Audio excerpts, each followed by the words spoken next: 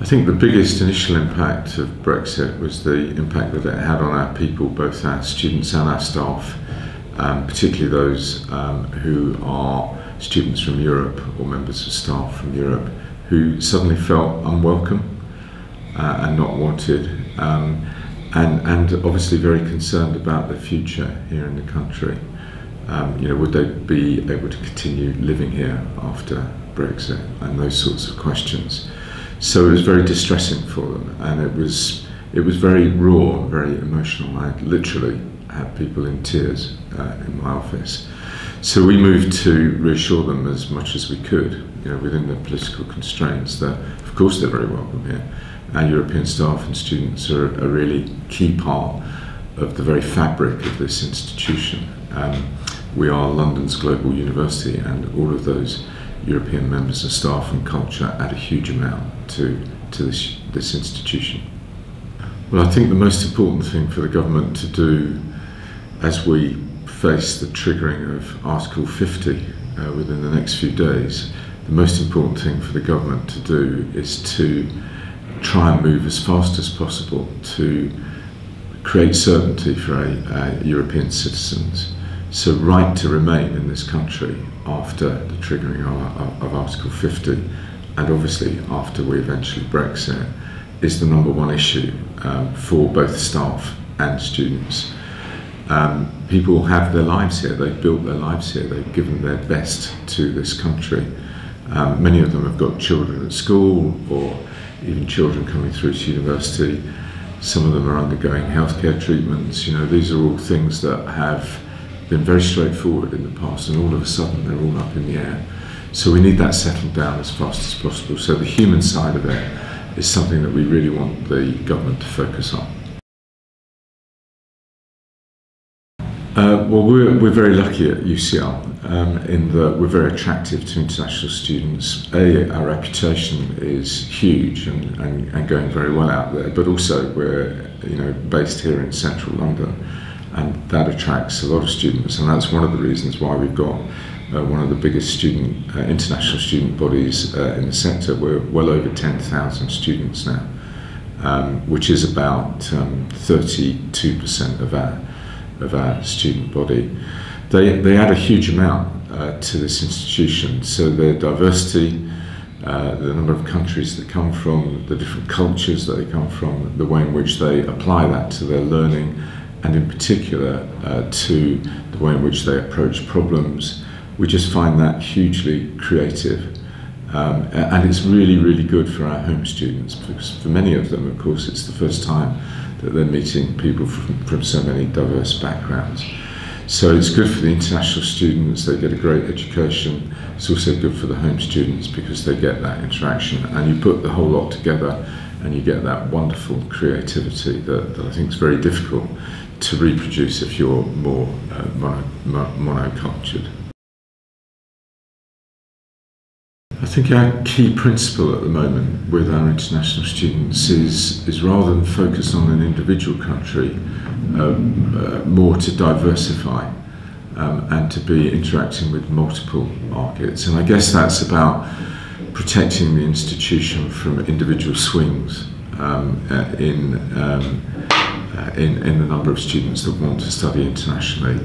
Um, we have, of course, like every other university, a large number of Chinese students. For us, that's 29% of our uh, of our international student body is from China. We wouldn't want it to grow above that. We, we feel that's round about the right level. Um, so we'd be looking for growth from, from, from other markets. South America would be an obvious one. The United States of America is one that we're also finding uh, quite attractive at the moment, and other uh, destinations in the Far East. Our personal um, interaction with India at the moment is very limited, and that's uh, another opportunity that we uh, will look into. Well, our, our um, strategy has included a complete revisit of everything we're doing uh, internationally. So much so that we no longer call it our international strategy, we call it our global engagement strategy, and that kind of gives you the flavour of the way that we're thinking about this. We are not particularly keen on overseas campuses. We do have three small ones uh, one in Adelaide, one in uh, Doha in Qatar, and we have also helped a university in Kazakhstan.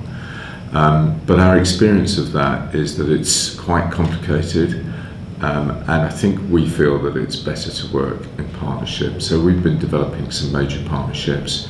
The, the two largest ones that we have are with um, Peking University in Beida, um, and uh, that's a flourishing partnership that includes education and research, student and staff exchange.